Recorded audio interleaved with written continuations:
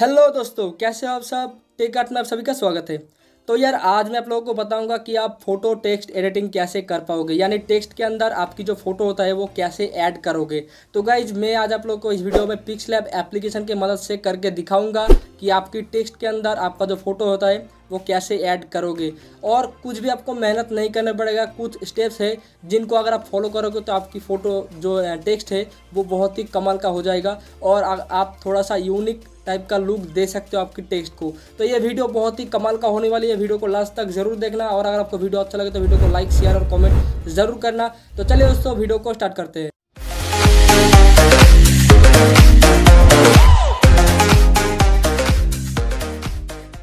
तो गाइस सबसे पहले आप पिक्सलैब एप्लीकेशन को ओपन करो। ओपन करने के बाद आप यहाँ पर इस तरीके से आपको इंटरफेस शो हो जाएगा। ओपन करने के बाद, ठीक है? तो उसके बाद जो सेकंड नंबर वाला ऑप्शन है ए लिखा हुआ है, इसके अंदर आप क्लिक करो और जो एडिट वाला ऑप्शन है, इसके ऊपर क्लिक करो। क्लिक करने के बाद आपकी जो टेक्स्ट आप लिखना चाहते हो, वो आप यहाँ से लिख सकते हो। तो मैं, मेरा जो चैनल का फ़र्स्ट नेम है, वो मैं यहाँ पर लिखूँगा। तो टी ई सी एच ये मैंने टेक लिख दिया, उसके बाद कर दूँगा यहाँ से डन उसके बाद ओके तो इसका जो साइज़ है, मैं थोड़ा सा बड़ा कर लेता हूँ, ठीक है? इस तरीके से आप आपकी जो टेक्स्ट का साइज़ है, वो आप बड़ा कर सकते हो। तो गाइज़ ये हमने टेक्स्ट का साइज़ बड़ा कर लिया। उसके बाद जो दो लेफ़्ट और राइट वाला जो ऑप्शन है उसका जो एरिया है थोड़ा सा और भी इंक्रीज़ करना है। तो यहाँ पर रिलेटिव पोजीशन लिखा हुआ एक ऑप्शन तो इसके ऊपर आप जब क्लिक करोगे तो ये आपका जो टेक्स्ट है वो मिडिल पोजीशन पे लेके आएगा। उसके बाद कर देना डन ओके उसके बाद आपका जो टेक्स्ट का लेफ़्ट और राइट का जो पोजीशन जो साइड है, उसको आप एक्सपेंड कैसे करोगे? तो यहाँ पर पैडिंग लिखा हुआ है। तो इसके ऊपर जब क्लिक करोगे तो यहाँ पर आप देख सकते हो लेफ़्ट पैडिंग और राइट पैडिंग तो मैं लेफ़्ट पैडिंग को यहाँ पर पाँच या फिर छः तक कर लेता हूँ। उसके बाद राइट पैडिंग को भी छः तक कर लेता हूँ। उसके बाद कर दूँगा यहाँ से डन तो आप ऑप्शन को सही तरीके से यहाँ पर ध्यान रखना कौन कौन सा ऑप्शन मैं यूज़ कर रहा हूँ इस वीडियो में तो आपको भी शायद कोई दिक्कत नहीं होगी। ओके तो ये हमने पैडिंग का ऑप्शन चूज़ कर लिया। उसके बाद हम जाएँगे टेक्स्ट में, जो फॉन्ट है सॉरी जो फॉन्ट है, उसके अंदर जाएँगे और कोई भी एक फॉन्ट चूज़ कर लेंगे, जो आपकी पसंद हो। तो मैं यहाँ पर जो मेम फॉन्ट है, उसको मैं चूज़ करूँगा। ये वाला फॉन्ट मुझे बहुत ही अच्छा लगता है तो उसको ओके कर दूँगा। तो ये फॉन्ट जो है यहाँ पर आ चुका है। तो आप यहाँ पर देख सकते हो हमारा जो फॉन्ट है उसका साइज़ में थोड़ा सा और भी बड़ा कर लेता हूँ।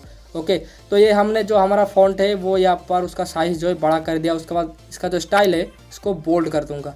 यहाँ से इसको बोल्ड कर दूँगा। ओके तो बोल्ड करने पे वो भी, वो जो टेक्स्ट है, वो और भी अच्छा लगेगा। तो मैं यहाँ से इसको राइट कर देता हूँ। तो ये हमारा जो टेक्स्ट है, उसका काम यहाँ पर हो गया है। ओके तो उसके बाद हम जाएँगे यहाँ से स्ट्रोक पर। ये स्ट्रोक है। इसको एनेबल कर देंगे और इसका जो बॉर्डर है वो ब्लैक हो जाएगा। और ये जो स्ट्रोक का लेंथ है वो फोर पर है तो यहाँ पर आप फाइव या फिर सिक्स कर सकते हो। तो मैं इसको जो है फाइव ही करूँगा, ठीक है? मैं इसको फाइव तक ही करूँगा। उसके बाद कर दूँगा डन उसके बाद यहाँ पर स्पेसिंग लिखा हुआ है। तो स्पेसिंग के ऊपर क्लिक करेंगे तो इसका जो स्पेस है थोड़ा सा इसको बढ़ा देंगे। ताकि जो टेक्स्ट है, जो जॉइंट ना हो एक दूसरे से ज्वाइन ना हो, ठीक है? तो इसको स्पेसिंग दो तक कर देंगे और डन तो ये हमने जो हमारा टेक्स्ट है, वो उसको बाहर में थोड़ा सा कस्टमाइज कर लिया। उसके बाद जो हमारा जो मेन काम है, वो है इसके अंदर फ़ोटो कैसे ऐड करें। तो यहाँ पर आप जो है टेक्स्चर वाला ऑप्शन ढूंढना, ठीक है? टेक्स्चर वाला ऑप्शन तो यहाँ पर आपको टेक्स्चर लिखा हुआ है तो टेक्स्चर के ऊपर क्लिक करेंगे और यहाँ यहाँ से जो है फ़ोटो ऐड करेंगे। तो आप यहाँ पर आ जाओगे और यहाँ से कोई भी फ़ोटो ऐड कर सकते हो, या फिर रिसेंट के ऊपर क्लिक करके आप सीधा गैलरी में जाके फ़ोटो ऐड कर सकते हो। तो मैं रिसेंट के ऊपर क्लिक करता हूँ और एक फ़ोटो ऐड करके आप लोगों को, उसके बाद के स्टेप दिखाता हूँ। तो मैं यहाँ पर गैलरी में आ चुका हूँ और यहाँ से कोई भी एक फ़ोटो मैं यहाँ से चूज़ कर लेता हूँ तो मैं ये वाला फ़ोटो जो है यहाँ से चूज़ कर लिया। उसके बाद इस फ़ोटो को मैं जो है लेके जाऊँगा। टेक्स्ट के अंदर क्या, यहाँ पर आप देख सकते हो जो हमारा फ़ोटो है वो टेक्स्ट टेक्स्ट के अंदर आ गया है। आप जब टेक्सचर के ऊपर आके यहाँ पर फ़ोटो ऐड करोगे तो आपकी फ़ोटो जो है ऑटोमेटिकली आपका जो टेक्स्ट है, उसके अंदर चला जाएगा। आप सिंपली यहाँ से देख सकते हो। तो यहाँ पर जो है एंड मेल लिखा हुआ है।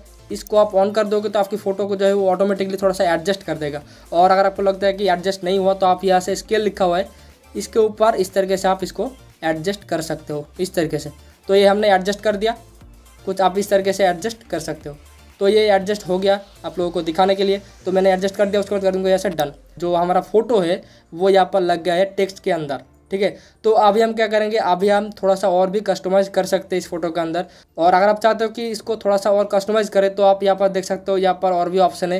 यहाँ पर शेडो है तो शेडो के ऊपर जाके मैं आप लोगों को कुछ स्टेप दिखाता हूँ। तो इसको एनेबल कर देना, ठीक है? सबसे पहले।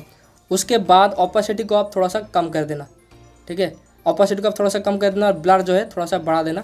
ताकि देखने में अच्छा लगे। तो ये मैंने ब्लर बढ़ा दिया ट्वेंटी तक।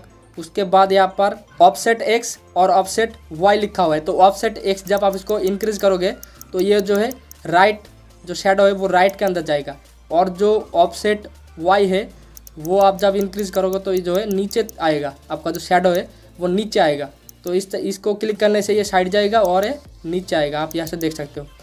तो ये हमने शेडो को भी लगा दिया, उसके बाद हमको यहाँ से डन तो आप यहाँ पर देख सकते हो हमारा जो टेक्स्ट है, उसके अंदर हमने फ़ोटो लगाया, उसके बाद जो बैकग्राउंड में शेडो है, उसको भी हमने यहाँ से लगा दिया। तो गाइज़ उसके बाद आप यहाँ पर देख सकते हो बहुत सारा ऑप्शन है जिसको यूज़ करके आप आपकी जो टेक्स्ट है, उसको और भी इनहेंस कर सकते हो, और भी एडिटिंग कर सकते हो। यहाँ पर और भी ऑप्शन बढ़िया बढ़िया ऑप्शन आप यहाँ पर देख सकते हो। तो जिसको यूज़ करके आपकी जो टेक्स्ट है, उसको और भी अच्छी तरीके से कस्टमाइज कर सकते हो। तो आई होप गाइज़ आपको ये वीडियो अच्छा लगा। अगर आपको ये वीडियो अच्छा लगा तो इस वीडियो को लाइक शेयर और कमेंट ज़रूर करना। और अगर आपने अभी तक मुझे इस चैनल पे फॉलो नहीं किया तो जाके फॉलो कर लो, क्योंकि मैं यूट्यूब पे वीडियो अपलोड करने से पहले वहाँ पर अपडेट कर देता हूँ कि मैं नेक्स्ट वीडियो किस टाइप का लेके आना बोला अपने चैनल में। और अगर आप इस चैनल पर नए हो तो चैनल को सब्सक्राइब करने के बाद जो घंटी है, उसको भी दबा देना ताकि मेरे लेटेस्ट वीडियो नोटिफिकेशन आपको मिलते रहे। तो चलिए दोस्तों, मिलते एक नए और कमाल के वीडियो के साथ। तब तक के लिए बाय